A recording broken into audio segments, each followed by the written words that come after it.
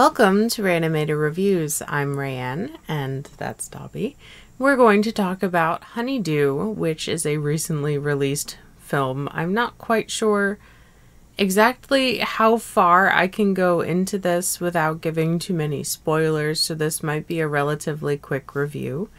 As I do want to keep it spoiler free because there um there's some bombs dropped in this one for sure that you may or may not be anticipating, but you're just kind of like waiting for it to happen. So maybe they're not so much these huge twists, but there's a lot of build up to them. I will say that for sure. The film starts out with Riley and Sam. They're I, I think they're just dating. I don't know that they're engaged or married, but they're very long term. They're very invested in each other's lives. Riley is working on, I believe it's her master thesis for horticulture. Particularly, she's focusing on the, I think it's called Sortica or Sordico, the fungus that had invaded the the crops in the area and it did a lot of damage to the local agriculture and their farming, particularly with cows for um, for food sources, and just like the whole process of how the fungus grows. And Sam is on his way to an audition as he is an actor.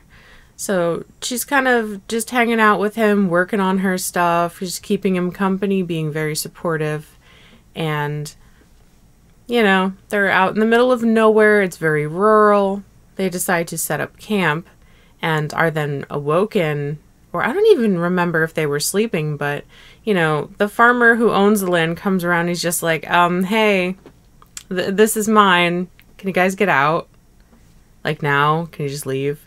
And of course, as it is a horror movie, the car doesn't start. There's no GPS. There's really no cell phone signal. So all they can basically do is walk until they find the closest house, which belongs to Karen, who lives there with her very interesting son Goonie, and uh, do do as much as they can to try to get some help. Try to get someone to come over, look at the car.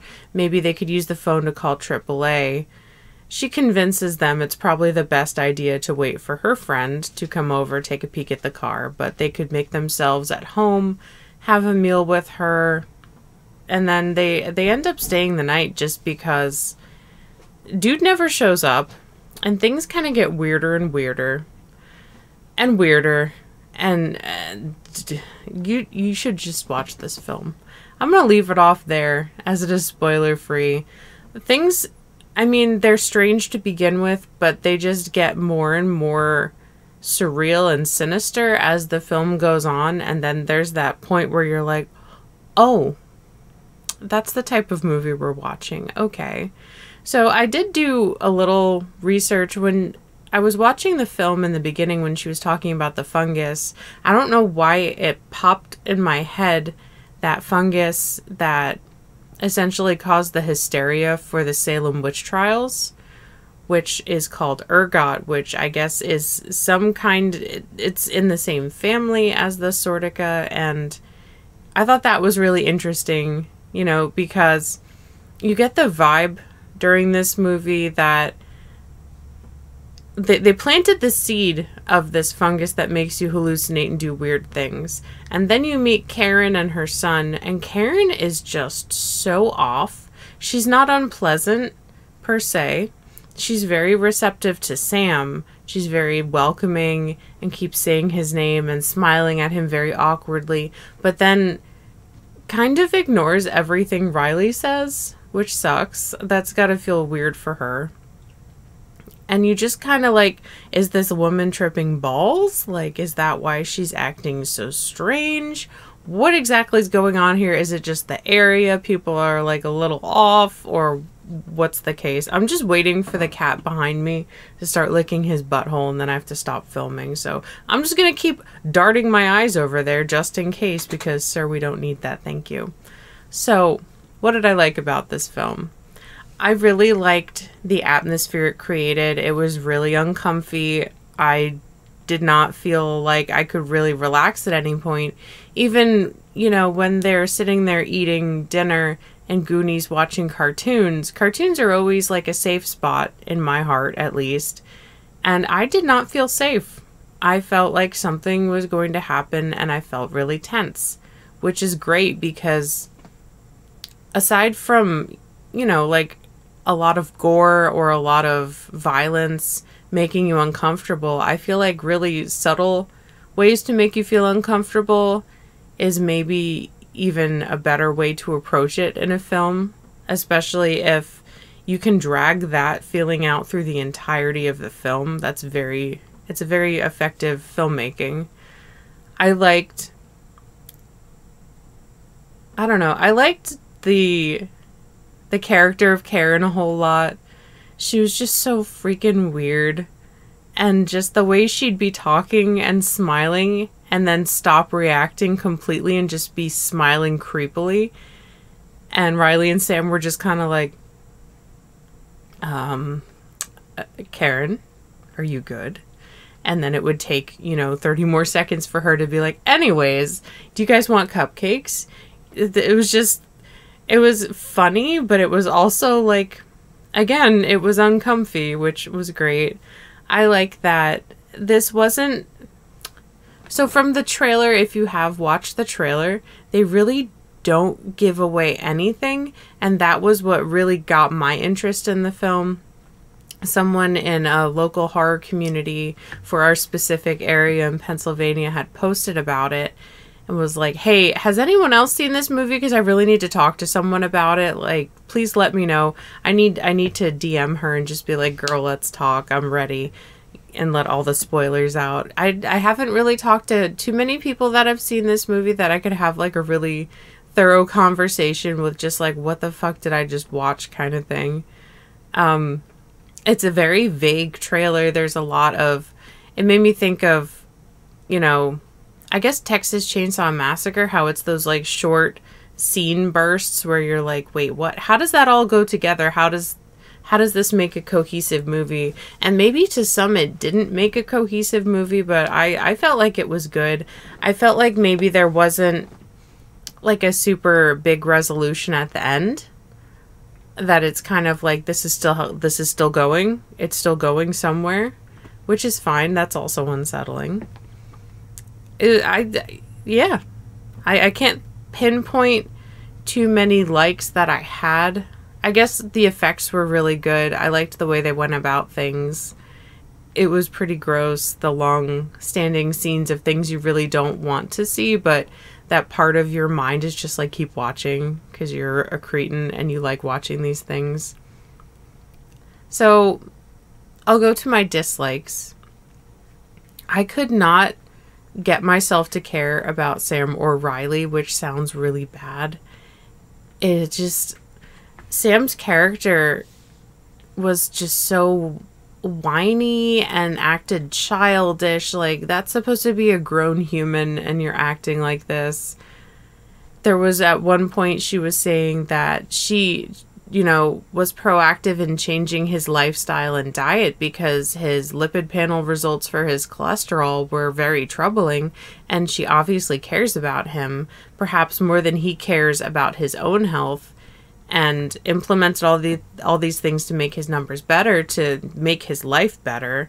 And he just was such a baby about it and I get it. That's hard. That's a hard decision you have to make for yourself knowing, well, I can't do these fun things or eat these fun things because it's going to make me worse, but like that's that's kind of being an adult and making those decisions and it just seemed like she had to parent him a whole lot, which was very unattractive and didn't make me really feel a lot of any sympathy for him, I suppose. And you you have that seed planted, like I said, with the fungus, and at one point they're I don't know if they get in an argument or they're just like kind of shitty with each other, like they're both upset at the situation that they have to stay at the house. And he like storms out of the room and goes upstairs and sits in the kitchen with Goonie and is just like taking all this food out of the fridge and eating it and he's eating the cupcake and you're just like oh that's where that fungus could be. Like he's gonna he's gonna start hallucinating and all this stuff and you're just kind of like waiting for it. But then you also don't really feel bad when hey sir could you not i'm just gonna turn you? No you're good? Okay. You don't really feel bad for him because he kind uh-uh. Nope go ahead. You're good. You have, you have privacy. You don't really feel bad for him because it's like he he knew what he was doing but like also did he really know what he was doing? Because they didn't know that there was still the the fungus in the wheat flour but i don't even know if that's what it was. Maybe karen dosed them with something that she was currently enjoying given her behavior. You, you don't really know. On the other hand i didn't really feel that much sympathy for riley's character either I don't know if it was just the way they were supposed to be written. It was just such a different take on the movie because I feel like the most sympathy I felt for any character was Goonie. And he didn't speak a single word pretty much. I just I felt bad for him having seizures and he was just kind of disconnected and you get a little glimpse of him very early on in the film and you question a lot of things and then they do explain it later on which is a bummer. Definitely. But i don't know. I thought karen karen's acting was great. The the actress that portrayed her did a really good job. I learned that sam's character is played by steven spielberg's son which i honestly okay. That's cool i guess who doesn't love a good Spielberg film or a good Spielberg son? I can see his foot through the chair. Does anyone else see that here? This tiny little. There's some beans here. Why always when I'm filming? Um, I felt like sometimes I really liked the soundtrack to the film or the just the the weird sounds that were happening. Sometimes I felt like it was overdone a little bit too much. Like if a scene was already tense, you didn't have to just overburden it with strange sounds. I know that's a common trope in a lot of modern horror, and I don't mind it. You just have to know when to use it appropriately and not overuse it, I suppose. Yeah. This is a strange film. I, I I did enjoy it. I was just a little confused by some of the choices that were made. There's a weird dream sequence that we don't get another weird dream sequence, and I would have loved like a bunch of those. That would have been great. But I guess it makes sense because they were only there it feels like one night. So why would you have that many? But like naps, you take naps. You like I don't know. You could have thrown some more in because I did enjoy it. It was bizarre and strange. And it had a lot of allusion to the movie. It alluded to a lot of things that we weren't completely set in concrete yet about. It's just talking about this movie is like talking about Fight Club. Like, how much can you really give away? But, like, it's very obvious, also, kind of. Let me know if you've seen this movie. What do you think? I would probably give it. I don't know. I would definitely watch it again. I think I would give it at least a three out of five. I thought it was bizarre. I thought it was gross and grungy and strange and a little confusing and a little dreamlike, and I had a good time watching it. I know maybe the pacing was a little bit off for me.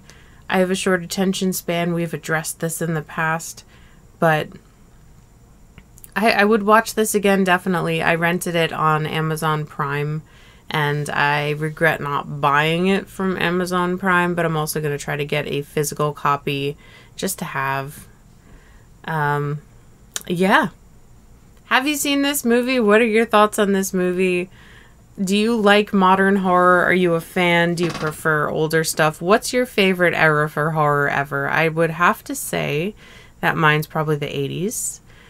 Um, lots of good zombies and just weird uh, shit come out of that era. I also really like the 90s horror, but I'm really, really into the modern horror stuff that we've gotten so far, and I'm excited to see where that goes. Can't wait to see Don't Breathe 2. Can't wait to see the Candyman remake. I just found out that Elijah Wood is going to remake The Toxic Avenger, so I'm pretty excited for that. I'm a big Greasy Strangler fan, so I like what he's done so far.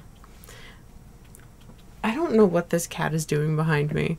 But if you haven't yet, please do subscribe to the channel. I'd love to have you. Please don't forget to follow me on Facebook at Rayanimator Reviews, Twitter, Instagram, and TikTok at Rayanimator.